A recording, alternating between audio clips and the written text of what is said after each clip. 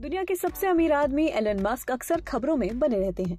Elon Musk की Twitter को खरीदने की जिद ने भी काफ़ी सुर्खियाँ बटोरी थी, लेकिन अब एलन मस्क ने फाइनली ट्विटर को खरीद लिया है। मस्क के ट्विटर के मालिक बनने के बाद ही सोशल मीडिया पर इस बात की चर्चा शुरू हो गई थी कि क्या वो अमेरिका के पूर्व राष्ट्रपति डोनाल्ड ट्रंप के ट्विटर अकाउंट को बहाल कर देंगे। इन सब चर्चाओं के बीच अब एक सोशल मीडिया हैंडल सामने आया है, जो कि खुद को डोनाल्ड ट्रंप बता रहा है। At the rate the U L T G M R नाम के ट्विटर हैंडल ने ट्वीट कर एलन मस्क का शुक्रिया अदा किया है। ट्वीट में लिखा है ट्विटर पर वापसी करके बहुत खुशी हो रही है। एलन मस्क का शुक्रिया।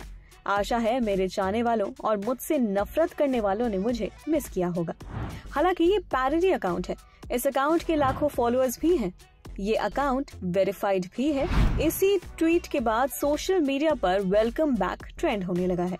आपको बता दें कि एलन मस्क के ट्विटर का अधिग्रहण करने के साथ ही डोनाल्ड ट्रंप और बॉलीवुड एक्ट्रेस कंगना रनौत जैसे बैंड अकाउंट्स को बहाल करने की चर्चा शुरू हो गई है, लेकिन इसकी संभावना कम नज़र आ रही है।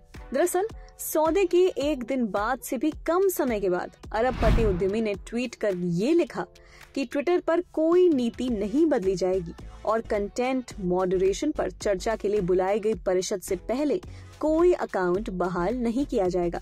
तो ऐसे में कंगना रनौत और पूर्व अमेरिकी राष्ट्रपति डोनाल्ड ट्रंप के अकाउंट्स को बहाल करने का सवाल नहीं उठता है। खैर, इस मामले में आपकी क्या राय है? हमें कमेंट करके ज़रूर बताएँ। बाकी खबरें जानने के लिए देखते रहिए एबीपी लाइव